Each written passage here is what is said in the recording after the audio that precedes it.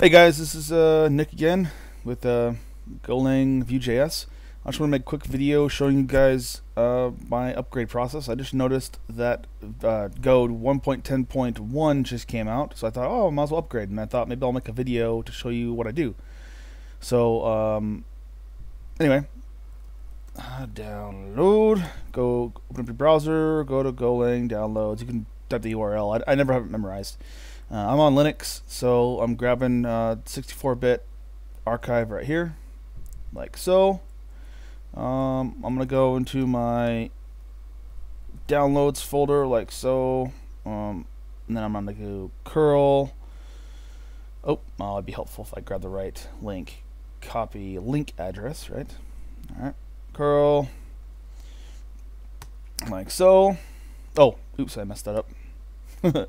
uh, to go 1.10.1.tar.gz. And then we let it download. I'll pause the video for now, just so you don't have to wait. And we are done. Now we need to tar it. So basically, uh, decompress it. Um, point one, point, hold on, go 1.10.1 dot tar, there we go. Um, should decompress it to the Go folder. We remove our old version of Go. User local Go, like so, and then we will sudo move Go to user local Go. Oh, just that one there.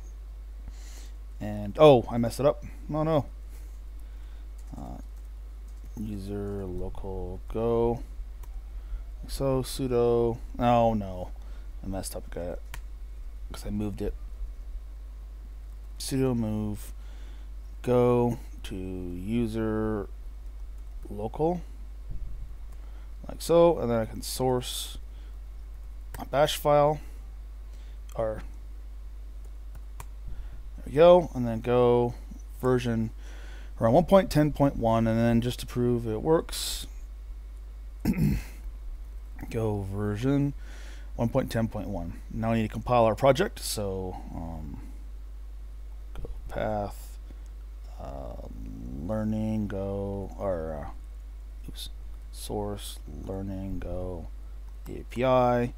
We'll run our project with new version of Go, it works. And then let's do the upgrade. So make install.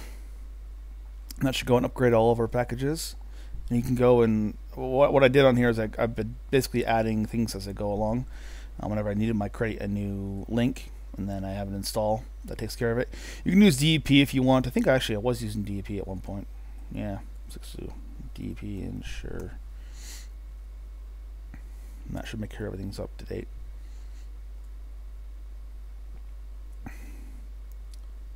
And there you go. So we're on a new version of Go. We're upgraded. All all our packages are upgraded, and we can do make make, and it should just work.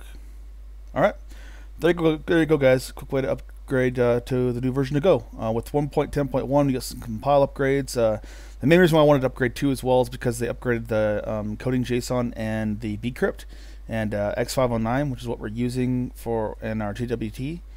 So and our uh, authentication. So I thought it might be useful to get the new um, upgrades. All right, guys. See you in the next video. Thanks.